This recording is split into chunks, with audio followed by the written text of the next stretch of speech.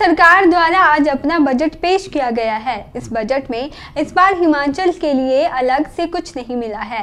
प्रदेश को सेब आयात शुल्क बढ़ाने के साथ रेलवे विस्तार की उम्मीद थी। लेकिन बजट में इसकी घोषणा न होने पर प्रदेश कांग्रेस प्रवक्ता नरेश चौहान ने निशाना साधा है। नरेश चौहान ने केंद्र का बजट निराशाजनक करार दिया है और कहा कि इस बजट में हिमाचल के लिए कोई आर्थिक पैकेज देने और रेल विस्तार के लिए बजट का प्रावधान नहीं किया गया है। प्रदेश में कोरोना के चलते पर्यटन कारोबार बुरी तरह से चौपट हो गया है। लोगों को उम्मीद थी कि इस बजट में पर्यटक कारोबार को पटरी पर लाने के लिए कोई बजट की घोषणा करते लेकिन ऐसा कुछ नहीं दिया है। इसके अलावा सेब आयात शुल्क भी नहीं बढ़ाया, जबकि पीएम मोदी सहित अन्य नेताओं ने कई बार आयात शुल्क बढ़ाने की घोषणा की है।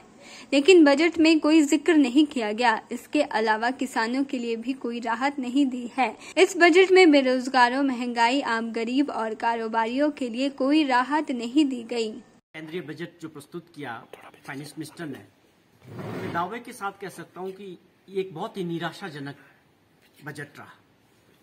किसी भी वर्ग को आप टच कर रहे आज देश के अंदर कोरोना के बाद जो सबसे बड़ी गंभीर समस्याएँ थी पूरे देश के अंदर चाहे वो बेरोजगारी की थी और महँगाई की थी।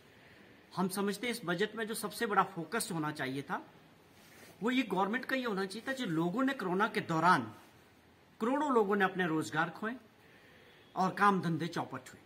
कि सबसे पहले बजट के ज़रिए लोगों की मदद किस तरह से हो सकती थी कि वो अपने काम धंधे द्वारा से शुरू कर सके और लोगों के पास काम हो देश के अंदर। और किस तरह से रोज़गार का एक पूरा रोड मैप इस बजट में दिखना चाहिए था कि बेरोजगारी देश की सबसे बड़ी समस्या के रूप में उभर चुकी है। और महँगाई एक सबसे बड़ी समस्या आज पूरी देश की जनता के सामने थी। तो मैं समझता हूँ इस दृष्टि से ये पूरी तरह से जो है निराशाजनक आज ये बजट रहा है, क्योंकि इसमें न बेरोजगारी पे एड्रेस किया है और न महँगाई को लेके कोई रोड मैप इस बजट में दिखता है। और किसानों की जो बात बार बार ये जो सरकार है, सपने दिखाने वाली बात करती है, हर वर्ग को सपने दिखाती है। कि किसानों और बागबानों की जो आय है वो डबल होगी। वो कब होगी, वो कब आएगा वो टाइम आठ साल से ऊपर समय हो चुका है इस सरकार का।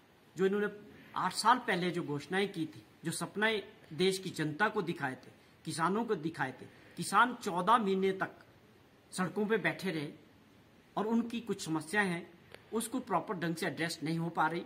तो हमें उम्मीद थी कि इस बजट में कुछ ऐसी दिशा, चाहे वो प्रदेश की अगर हम बात करें तो हिमाचल प्रदेश एक टूरिज़्म राज्य है, पर्यटन की दृष्टि से, जो नुकसान कोरोना के दो वर्ष में हिमाचल प्रदेश के लोगों ने, जो रोज़गार खोए, जो धंधे खोए, जो नुकसान हुआ, उसकी भरपाई की पूरी उम्मीद थी कि इस बजट में कुछ ऐसी घोषणा हिमाचल प्रदेश के बारे में भी होगी। के चैनल के लिए शिमला से पुष्पेंद्र कुमार की रिपोर्ट।